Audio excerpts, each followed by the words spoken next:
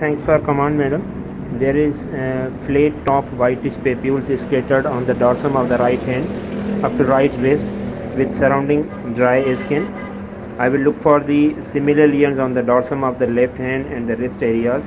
Then check the nails of the both hands to rule out vertical nail nick and other changes or findings. Then check both palms to rule out pits and other changes.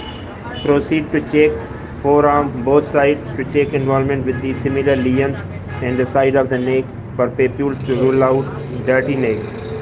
Then chest and back all trunk to rule out dirty greasy papules and malodor of the skin. Then check all pleural areas involvement.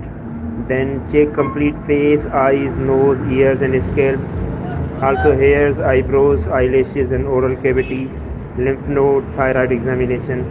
Then we'll look for the genitalia and the perineum and the perianal areas as well. Thank you.